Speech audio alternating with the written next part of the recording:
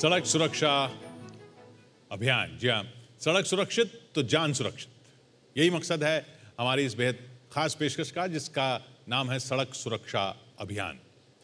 सड़कों को हम सबके लिए सुरक्षित बनाने की एक पहल है, ताकि 2025 तक सड़क दुर्घटनाओं में होने वाली मौतों का जो जान चली जाती है उनको कम किया जा सके, कम से कम किया जा सके।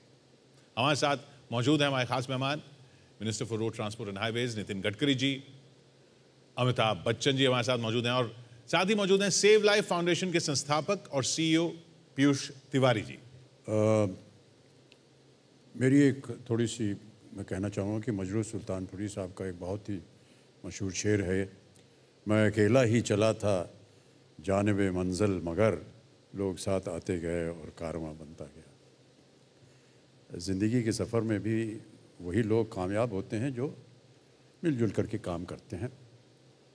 सड़क सुरक्षा का हमारा ये जो अभियान है, ये तभी भी कामयाब होगा जब सरोकार रखने वाली हर संस्था, हर शख्स साथ मिल करके काम करेंगे।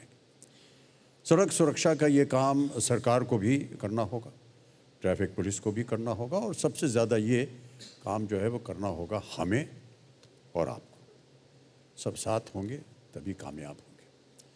सड़क सुरक्षा साझेदारी की बात हम आगे भी करेंगे, लेकिन उससे पहले ये समझ लेते हैं कि जिम्मेदार नागरिक के तौर पर हमें और आपको क्या करना है ताकि ये अभियान जो है, ये सफल बन सके। एक छोटी सी पेशकश। सड़क सुरक्षा अभियान एक ऐसी पहल जहाँ सरकार हमारी सुरक्षा के लिए उठा रही है कई अहम कदम।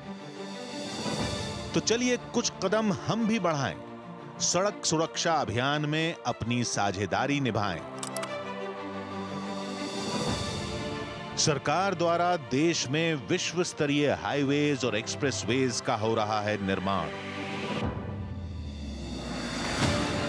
अपेक्षा है आपसे। स्पीड लिमिट का आप भी करेंगे सम्मान। सीट बेल्ट सिर्फ़ आगे ही नहीं, पिछली सीट में बैठे यात्री भी लगाएँगे। अब बिना चाइल्ड सीट बच्चों को सफ़र नहीं कराएँगे। आशा करते हैं ये नई आदत आप जल्द से जल्द अपनाएँगे। कौन सी गाड़ी है कितनी मज़बूत? बीएनसीएपी ये बताएगा।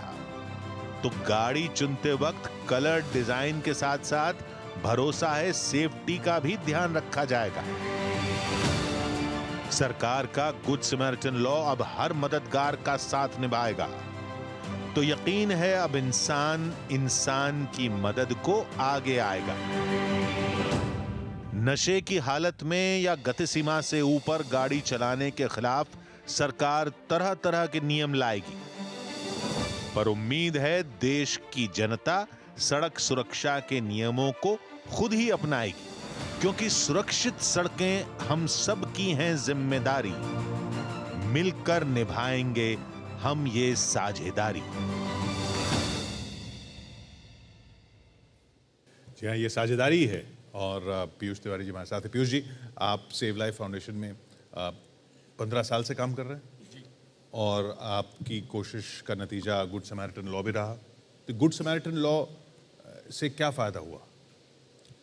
देखिए जो हमारे देश में जो दुर्घटनाएँ होती हैं और उसमें जो मौतें होती हैं लॉ कमीशन ऑफ़ इंडिया का ये कहना है कि करीब 50 प्रतिशत जो लोग दुर्घटनाओं में मारे जाते हैं उनकी जान को बचाया जा सकता है अगर उन्हें समय पर चिकित्सा मिल सके तो।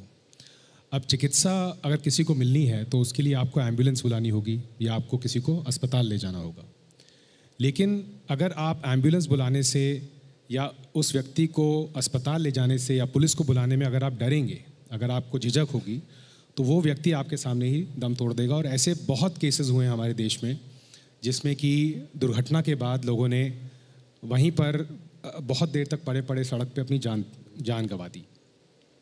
मेरे परिवार में भी एक ऐसा ही हादसा हुआ था, जिसके बाद हमने गुड समार्टन लॉ के लिए एक मुहिम जारी की। और अब वो कानून जो है गडकरी सर के की वजह से वो कानून पारित हुआ है पार्लियामेंट में। और गुड समार्टन लॉ ये कहता है कि अब आपको किसी भी कानूनी प्रक्रिया से, किसी भी पुलिस के प्रेशर से या कोर्ट कचहरी के चक्करों से डरने की ज़रूरत नहीं है अगर आप किसी की आगे आके मदद करना चाहते हैं तो। तो आप समझ सकते हैं कि अगर इससे 50 प्रतिशत जाने बच सकें हर साल तो हम पचहत्तर हज़ार लोगों को बचा पाएँगे सिर्फ़ आगे आके उनकी मदद करके। तो ये इसका महत्व है इस कानून का। बहुत ही महत्वपूर्ण बात कही है आपने। और ये कानून जो है ये पारित हो गया है इसके लिए भी हम बधाई देते हैं। और कई बार डर लगता है लोगों को दुर्घटना हो गई ले जाएँगे पुलिस स्टेशन। तो ये जानने के बजाय कि दुर्घटना कैसे हुई हमसे पूछा जाएगा। भैया तुम कौन हो? क्या है? क्यों लाए हो? क्यों लाए? उसके खिलाफ फिर कानून में उसकी पेशगी होगी, सब कुछ होगा। इस डर के मारे लोग आगे नहीं आते। लेकिन अब ये कानून जो है, ये बन गया है। इससे बड़ी सुविधा होगी। कई बार ऐसा देखा गया है कि जो चिकित्सा के स्थल हैं, वो बहुत दूर रहते हैं। ऐसे मौक़ों पर क्या कुछ ऐसी सुविधा हो सकती है, जहाँ पर कोई इमरजेंसी कॉल सेंटर्स बनाए जाएँ? हाईवे पे हमने देखा है कई बार, फ़ोन नंबर लिखा हुआ है कि ये इमरजेंसी कॉल नंबर है, कभी भी आप इसको कर सकते हैं। और जाते जाते क्योंकि आप तेज़ी से जा रहे हैं तो वो मिस हो जाता है कॉल नंबर लेकिन मैं तो यही कहूँगा कि अगर आप किसी साइन बोर्ड को तेज़ी से पास करते हैं, उस पर इमरजेंसी नंबर लिखा है, उसको एक बार मन में याद कर लें या कहीं लिख दें गाड़ी में। अगर दुर्भाग्यवश कुछ हो जाए तो आपको याद रहेगा कि आप बुला सकते हैं। इस तरह की सुविधाएँ क्या सिटीज़ वगैरह में बन सकती हैं क्या? जी बिल्कुल सर। एक्चुअली जान बचाने की जो प्रक्रिया है उसको एक चेन की तरह हमें समझना होगा। तो अगर आप किसी की जान बचाना चाहते हैं तो एक नंबर होना चाहिए जिसको कि आप फ़ोन कर सकें जहाँ से मदद स्टार्ट होगी। या तो वो अगर हम देखें कि विश्व भर में एक सिंगल डिजिट एक एक सिंगल नंबर होता है थ्री डिजिट का फोर डिजिट का जो कि आसानी से एक चार या पाँच साल का बच्चा भी जिसको याद रख सके। तो हमारे देश में भी कुछ ऐसे नंबर हैं। अब कोशिश चल रही है कि एक सिंगल नंबर हर इमरजेंसी के लिए उसको बनाया जा सके। उसके बाद आता है कि जब आप एंबुलेंस का वेट कर रहे हैं तो उस समय क्या हो रहा है? तो उसमें गुड समार्टन लॉ आपकी मदद करेगा, अगर आप किसी की हेल्प करते हैं वहाँ पर तो। उसके बाद एंबुलेंस आती है सर, जो कि डिस्टेंस जो आपने बात कही कि अगर लॉन्ग डिस्टेंस जाना है तो एंबुलेंस का काम सिर्फ़ ट्रांसपोर्ट करना नहीं है। एंबुलेंस का काम है कि जब उसमें किसी को ले जाया जा रहा है तो उसके साथ एक इंटरवेंशन हो और उसकी जान को बचाया जा सके। उसके बाद जब वो अस्पताल पहुँचे तो वहाँ पर उसको एक एडवांस केयर मिल सके जिससे कि उसकी जान बच सके। तो एक प्रॉपर एक चेन होती है स्टार्टिंग से लेकर एंड तक और एक सिस्टम होता है इसको। इसको इंडिविजुअल भागों में देखना सही नहीं रहेगा क्योंकि फिर हम सिर्फ़ इंडिविजुअल चीज़ों पे हम फोकस करेंगे। As a system we have to focus तो इसके इसमें भी काम होना थोड़ा बाकी है थोड़ा काम हो इसमें हो चुका है। लेकिन आपका कहना बिल्कुल सही है सर कि एक बड़ा जो मुद्दा है कि आ, कई जगहों पर आ, हमारे पास ये प्रावधान नहीं है या ये हमारे पास जो चीज़ें उनकी अवेलेबिलिटी नहीं है तो उसको बिल्ड करना ज़रूरी है और वहाँ पर हम मैपिंग कर सकते हैं कहाँ ज़्यादा दुर्घटनाएँ हो रही हैं वहाँ पर हम एम्बुलेंसेस पास में कर सकते हैं। जहाँ छोटे क्लिनिक हैं उनको हम थोड़ा लोन देकर पैसा देकर हम उनको अपग्रेड कर सकते हैं कि वो एक बेटर केयर वहाँ पर लाइफ सेविंग केयर प्रोवाइड कर सकें। तो कुछ इंटरवेंशन हो सकते सर मेरा एक छोटा सा और ऐसे ही सुझाव आ रहा है मन में जैसे कि हम बात कर रहे हैं। मान लीजिए कि एक दुर्घटना हो गई। आपने देखा आप उतर आए, आपने देखा उसकी की हालत ख़राब है। आपने फ़ोन किया, एंबुलेंस का नंबर आपको मालूम था, एंबुलेंस को फ़ोन किया। एंबुलेंस के आते आते मान लीजिए दस पंद्रह मिनट लग जाते हैं तो वो दस पंद्रह मिनट कितने अहम होते हैं, वो हमें जानना पड़ेगा। ऐसे में सर, यदि कोई ऐसा नंबर हो, जो एक इमरजेंसी वार्ड में जो इंचार्ज हैं डॉक्टर, उसको तुरंत वहीं से मोबाइल पे फ़ोन किया जा सके। सर, ऐसी एक दुर्घटना हो गई है तो वो डॉक्टर फ़ोन पे पूछे अच्छा क्या है? कहाँ चोट लगी है? अच्छा अगर गर्दन में चोट लग रही है तो हिलाना मत.